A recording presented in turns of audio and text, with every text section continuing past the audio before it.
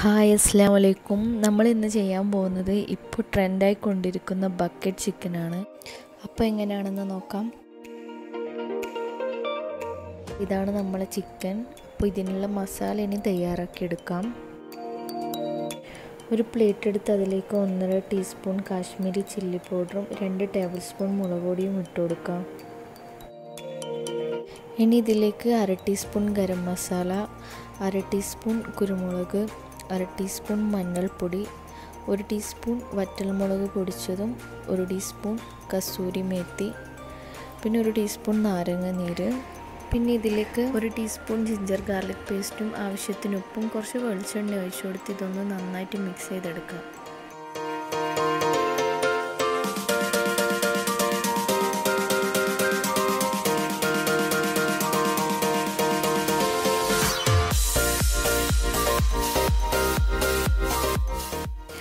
അപ്പോൾ മസാല റെഡി ആയിട്ടുണ്ട്. ഇനി ഇതൊന്ന് ചിക്കനിലേക്ക് തേച്ച് പിടിപ്പിക്കണം. അപ്പോൾ അതിന് മുമ്പായിട്ട് ചിക്കൻ ഇങ്ങനെ ഒന്ന് വരഞ്ഞു കൊടുക്കണം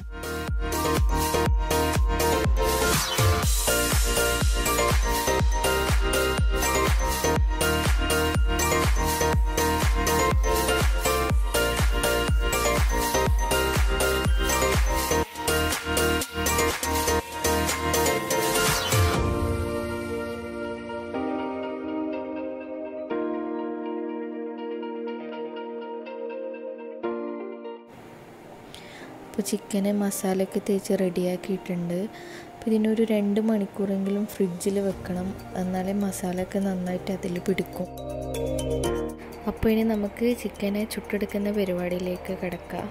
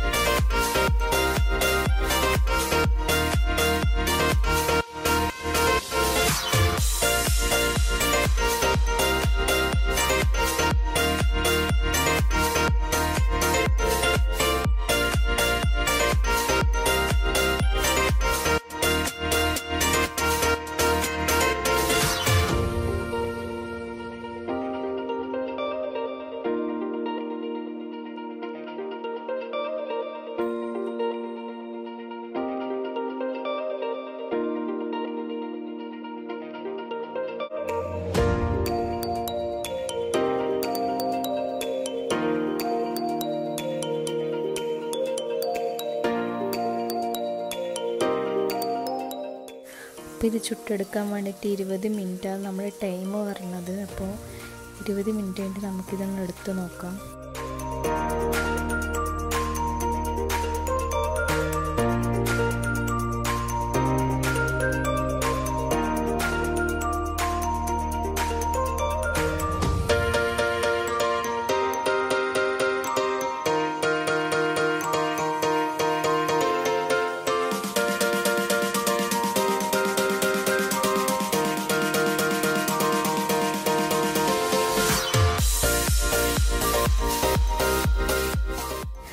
ഇതാണ് നമ്മളെ ബക്ക ചിക്കൻ ചിക്കൻ കരിഞ്ഞു പോയിട്ടൊന്നുമില്ല. വാഴയിൽ കുറച്ച് കത്തിപ്പോയി.